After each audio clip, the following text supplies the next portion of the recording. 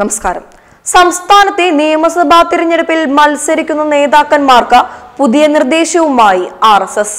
നേതാക്കന്മാർ സ്വന്തം മണ്ഡലങ്ങളിൽ മാത്രം മത്സരിച്ചാൽ മതി എന്നാണ് ആർ എസ് എസ് നിർദ്ദേശം നൽകിയിരിക്കുന്നത്.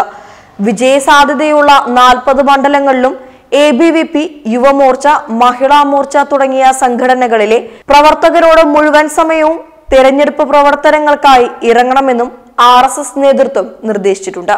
സ്വന്തം മണ്ഡലത്തിന് പുറമെ മണ്ഡലം ലക്ഷ്യമിട്ട് നേതാക്കൾ മത്സരിക്കുകയും പ്രവർത്തിക്കുകയും ചെയ്യുന്നത് പ്രാദേശികമായി ലഭിക്കാവുന്ന വോട്ടുകൾ പോലും നഷ്ടപ്പെടുത്തുമെന്നും അതിനാൽ തന്നെ മത്സരിക്കുന്ന നേതാക്കൾ പരമാവധി അവരുടെ പ്രദേശത്തോ നിയോജക മണ്ഡലത്തിലോ ജില്ലയിലോ മത്സരിക്കുന്നതാണ് ഉചിതമെന്നും ആർ വ്യക്തമാക്കി.